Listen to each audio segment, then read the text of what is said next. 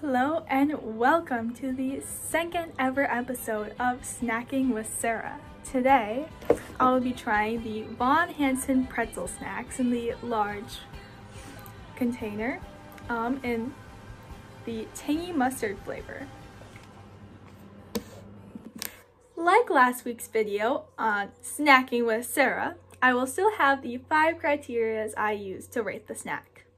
One being how spicy it is, two being how sweet it is, three being how good is the overall flavor of the snack, four how well you can eat the entire snack in one sitting, and five how healthy is this snack. Now, let's get to tasting. Comes in the normal pretzel shape, just normal shape.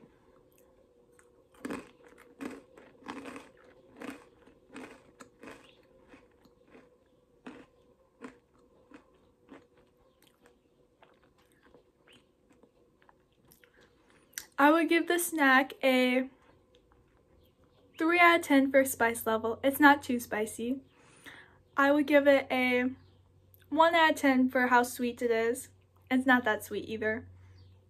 It's more of a tangy feeling. For overall flavor, I would give it a 6 out of 10.